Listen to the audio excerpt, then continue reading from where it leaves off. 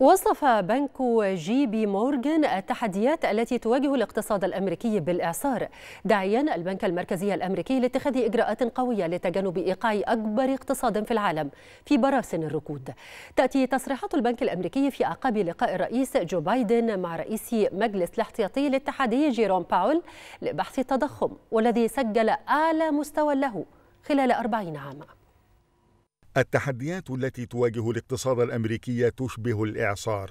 هكذا وصف بنك جي بي مورغان وضع أكبر اقتصاد في العالم. تصريحات جي بي مورغان تأتي بعد يوم من لقاء الرئيس الأمريكي جو بايدن برئيس مجلس الاحتياطي الاتحادي جيروم باول لبحث التضخم الذي سجل أعلى مستوى له خلال أربعين عاما. معركة التضخم أصبحت النقطة المحورية في جدول أعمال بايدن لشهر يونيو الجاري وسط تراجع لشعبيته وقبل انتخابات الكونغرس نوفمبر المقبل. ولمواجهة معدل التضخم القياسي طالب البنك الأمريكي العملاق مجلس الاحتياطي الاتحادي باتخاذ إجراءات قوية تتمثل في رفع الفائدة والتشديد الكمي لجذب السيولة في النظام المالي العالمي وتجنب وقوع الاقتصاد الأمريكي في براثن الركود. البنك الفيدرالي الأمريكي يتعرض لضغوط كبيرة لاتخاذ إجراءات حاسمة للحد من معدل تضخم يزيد ثلاثة أضعاف عن هدفه البالغ 2% وأدى إلى ارتفاع تكاليف المعيشة بشدة على الأمريكيين.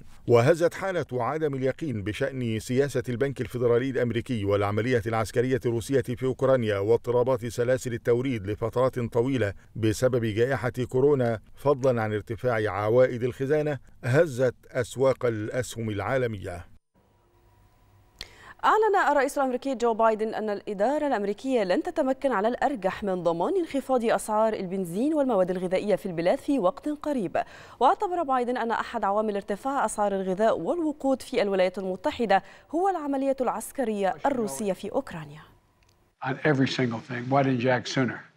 Um, well, I don't think anyone anticipated the impact of the shutdown of one facility. رجح مصدر لرويترز في أوبك بلاس أن توافق المجموعة على زيادة إنتاج النفط في حدود 600 ألف برميل يوميا في يوليو وهو ما يتخطى زيادات الشهرية السابقة والبالغة 432 ألف برميل يوميا حيث كشف مصدران من أوبك بلاس بأن المجموعة تعكف على التوصل لاتفاق لتعويض انخفاض إنتاج النفط الروسي الذي تراجع بنحو مليون برميل يوميا في الأشهر الأخيرة. نتيجة العقوبات الغربية على موسكو.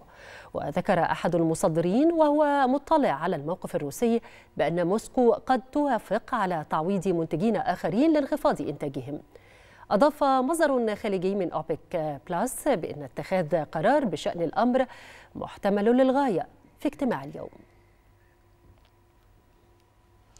تتجه استراليا لتسجيل إنتاج قياسي للقمح للعام الثالث على التوالي. الأمر الذي يقلل من حده المخاوف العالمية من قلة الإمدادات وانخفضت الإمدادات الخاصة بالقمح العالمية هذا العام بعد العملية العسكرية الروسية في أوكرانيا والتي أوقفت الشحنات من إحدى أهم مناطق التصدير في العالم ودفع أسعار الحبوب إلى تسجيل زيادة حادة وأثار مخاوف من أزمة غذاء عالمية. كما أضاف تحرك الهند في الآونة الأخيرة لحظر الصادرات والطقس السيء في الولايات المتحدة إلى المخاوف المرتبطة بوفرة الحبوب الغذائية. وأصبحت أستراليا ثاني أكبر مصدر للقمح في العالم بعد زراعة القمح على مساحة بلغت 35 مليون و700 ألف فدان وهي أعلى مساحة على الإطلاق.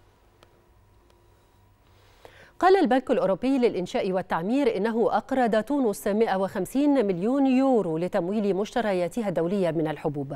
وأضاف البنك أن القرض يهدف إلى ضمان توفير السيولة لديوان الحبوب الحكومي لشراء الحبوب. وبالتالي المساهمة في الأمن الغذائي لتونس. يأتي القرض في الوقت الذي تعاني فيه تونس من أزمة مالية حادة. تسببت في تأخير سداد مستحقات سفن الحبوب الدولية التي ظلت راسية لأسابيع في بعض الموانئ التونسية.